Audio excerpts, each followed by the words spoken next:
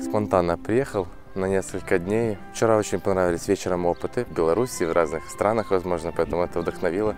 Очень понравилось, что у людей так получается служить для Бога, и э, Бог благословляет их труд. Я подумала, что вот это время благодати надо ценить и на эти лагерные приезжать, пока есть возможность. И нам надо исследовать свое сердце и спрашивать, Господи, а что менять, чтобы было лучше?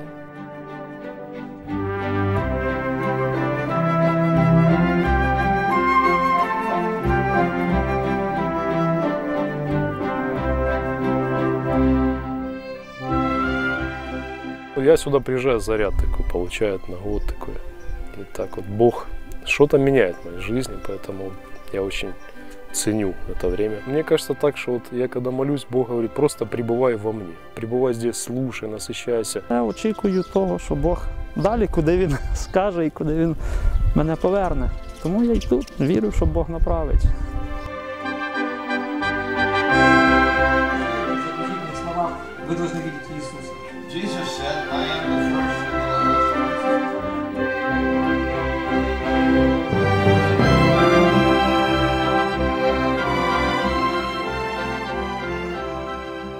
Я очень благодарен Богу за то, что Он мне дал эту возможность, что я был здесь.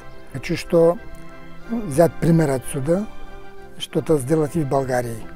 Здесь хорошо, должно и у нас будет так, как у вас. У нас тут приехало 12 человек.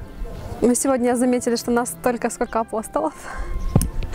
Вот, поэтому мы так думаем, что, что не зря такое количество, потому что для нас Бог приготовил задание для Польши. Я приехала посмотреть, что у вас такое, чтобы у нас тоже такое сделание было.